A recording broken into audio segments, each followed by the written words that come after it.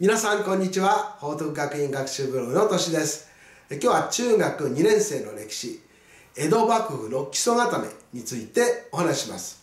1603年に江戸幕府を開いた徳川家康。この家康は1605年に息子の秀忠に将軍職を譲っています。このことによって幕府の将軍職は徳川氏がずっと持ち続けると。代々引き継ぐということを天下に示しました。そして大名の統制。これでは1615年に大名を取り締まる基本的な法令。武家諸法度を出しています。内容は新しい城作っちゃいけないと。城を修理する時には幕府の許可が必要だと。で他の大名家と結婚する時にもこれちゃんと幕府の許可を取らなきゃいけないと。ね。勝手に結婚しちゃいけないと。とにかく大名が何かする時には幕府の許可がいると。えこういう内容になっていました。で三代将軍家光の時。この武家諸法度に参勤交代。これが加わります。参勤交代というのは大名が1年は江戸で暮らし次の1年は両国自分の国に帰って城で暮らす。ただし大名の妻子奥さんと子供ですね。これは江戸屋敷で人質として暮らさなきゃいけないと。こういうふうになっていました。この江戸と両国自分の国との往復の費用とか江戸の暮らしこれが莫大なお金がかかったので、えー、大名は力をつけることができなかったんですね。これによって幕府は大名の力を弱めることができています、ね、でも参勤交代って悪いことだけじゃないんですよね。この参勤交代の制度ができたおかげで江戸を中心にした街道が整備されて、えー、各地の結びつき経済的結びつきが、えー、強くなっていきました。じゃあ実際に莫大なお金ってどのくらいがかかったのか、えー、加賀藩の大名行列。これを例にとって説明すると、えー、加賀藩、えー、今の石川県の金沢ねここにあったんですけど江戸まで120里。1里を4キロとすると480キロくらい離れていたんですね、えそこをおよそ12泊から13泊で、え移動した。ことになります。で行列の数2000人から4000人でものすごい人数ですよね。で1泊にかかるお金となんと3000万円だったそうです。今のお金で。ねもちろん。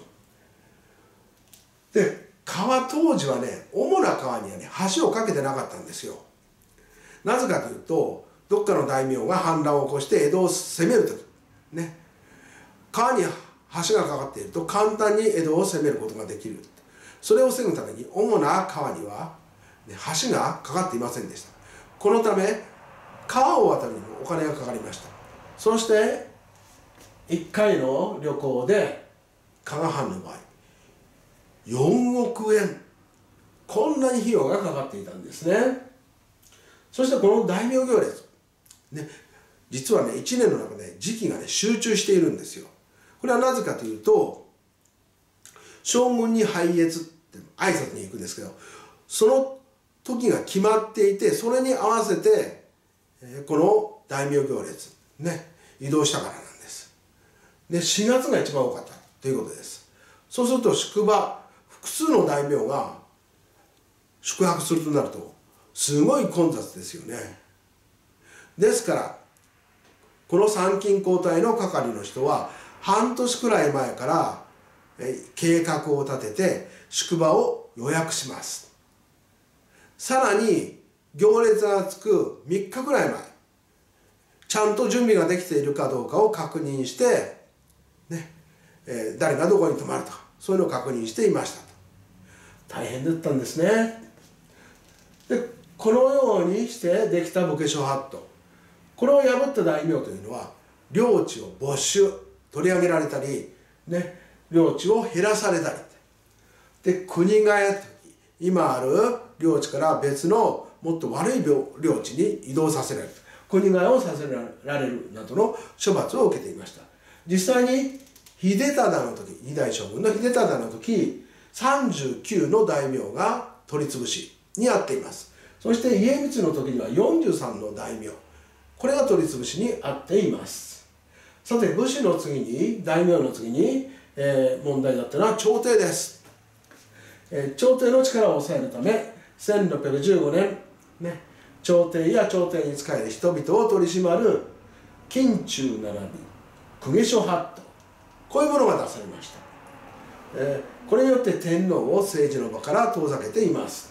で天皇は勉強しなさいと、えー、公家は行事に対する練習やなんかをしなさい。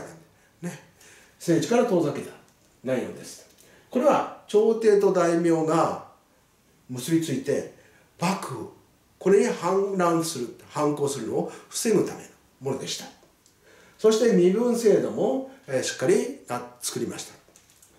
江戸幕府は秀吉が進めた、えー、兵農分離。これをもとにして身分を武士百姓町人町人というのは商人と職人のことですね。これに分けました秀吉は人払い令というのを出して武士が百姓になること百姓が商人や職人になることを禁じましたけれどそれをさらに進めてこの武士百姓町人、えー、これにまとめたわけですね、えー、支配する武士がやはり一番上です。そして米を作って年貢を納める農民ね武士というのは年貢で暮らしていたのでね武士の生活を支えていたのは農民。ですから農民百姓が2番目に来ています。そしてその下に町人を置きました。そしてさらにその下にですね得た否認という身分を置いて百姓や町人この人たちが武士に対する不満を持つのをそらした。このように、えー、制度を作ったわけです。今回は江戸幕府の基礎固めについてお話しました。この赤い丸がついている部分テストに出やすい部分なのでぜひ覚えてください。今日も最後まで見ていただきどうもありがとうございました。ではまたお会いしましょう。さようなら。